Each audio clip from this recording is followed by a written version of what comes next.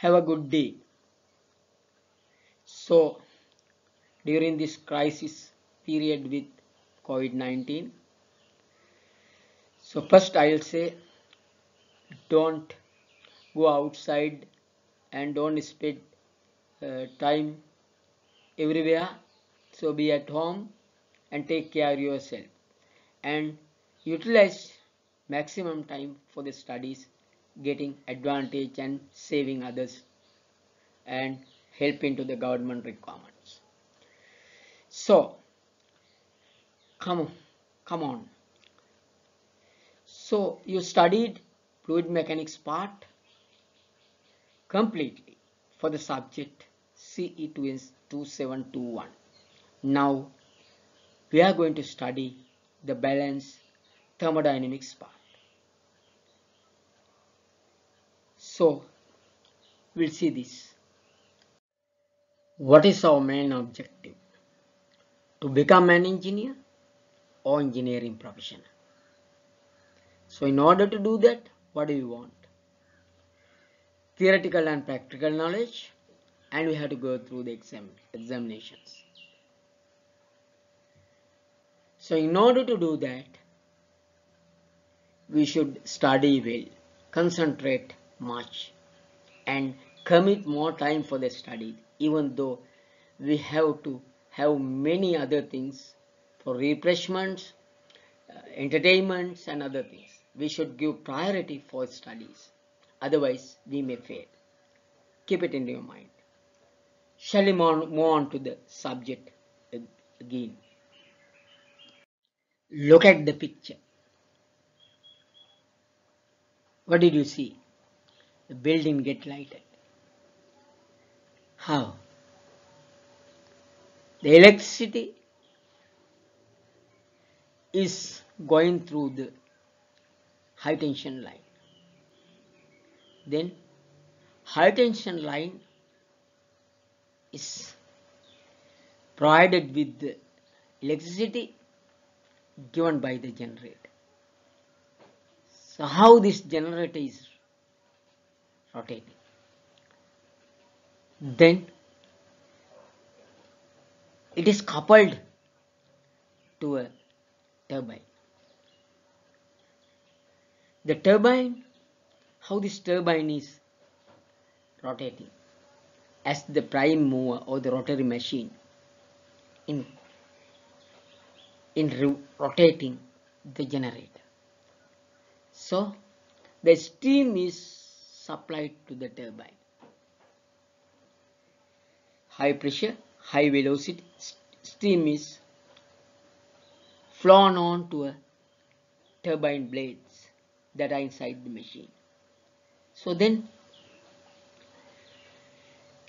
how this steams coming from or from where? It is coming from a steam generator known as boiler so then in order to heat water so here you need heat energy or heating. The heating is done by the power or heat generated by this nuclear reactor with our experience in Sri Lanka you can have the, the burner operated boilers with coal or furnace oil or heavy diesel instead of this nuclear reactor. But anyway, important thing is supplying heat on heat to the boiler. Then from where you are taking water, then you can see water is fed through the water pump, high pressure water pump. In this particular system, you can observe many many different equipment turbine the boiler or the steam generator water pump nuclear reactor so in Sri Lanka you can see the coal burners and uh, the steam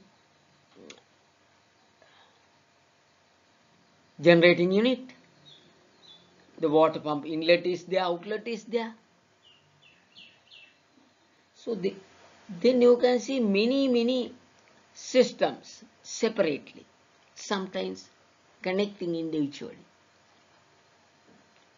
So then i think you think what are these? And it is mesh up like don't worry the the things or the equipments or units that we have spoken you have to study a lot.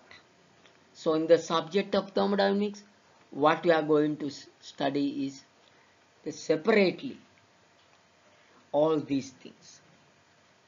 Simply all these things. Now even it is complicated to you but you know that electricity is needed then generator to be rotated. Then prime is required something like turbine. So in order to do all these things in in, in the industry you should have these thermodynamic systems. That is why it is so up it is important up to that extent.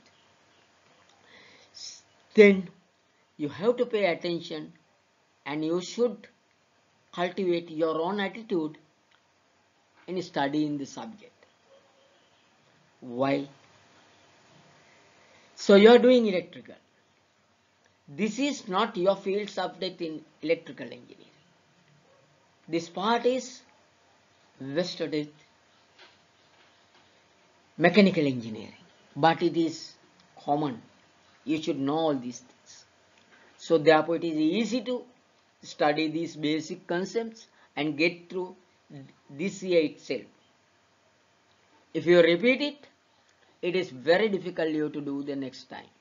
So therefore, I would like to say you all should concentrate about this subject while teaching, while we are attending for the lectures. So keep it in your mind. Okay, shall we move on to the next? Thermodynamics.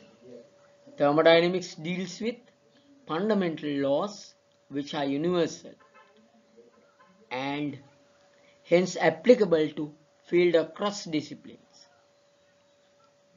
That means it could be applied through many many disciplines in engineering. Chemical engineering, process engineering, electrical engineering, mechanical engineering, so and many many subfields.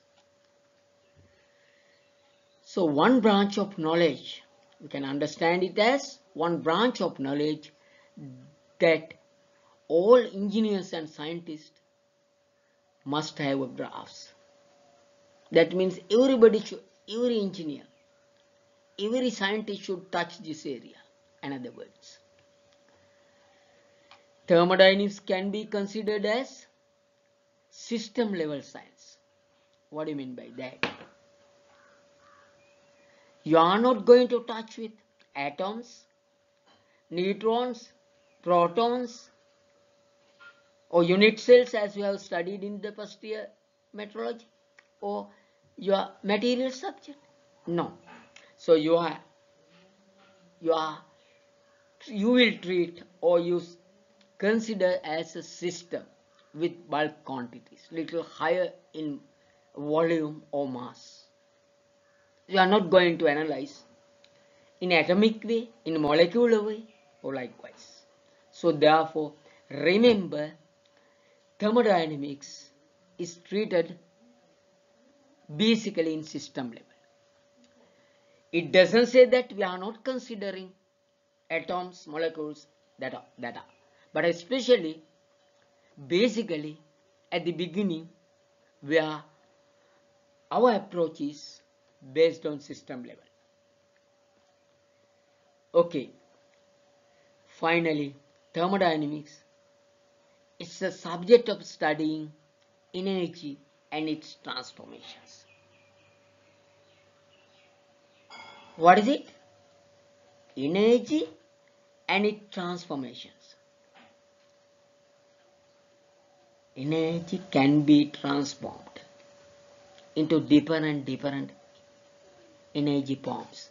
Example, heat energy can be transferred to sound energy, light energy, electricity.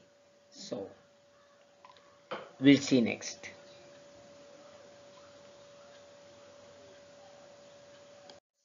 Terminology To understand the laws of thermodynamics and how they work, it is important to be familiarized with terminology. Simply, you should know terms or you should know some words that are used to understand the subject. Some of terms may look like much familiar to you and you have common meaning. But remember when we are going to define these terms that are used in the subject is more technical and more precise. Don't use as casually. Don't take it as casually. That is what I want to emphasize. Therefore, there are different set of words that are used technically precisely to define this subject and to understand this subject. The simply set of words are there with definitions. Then you should remember those and understand technically.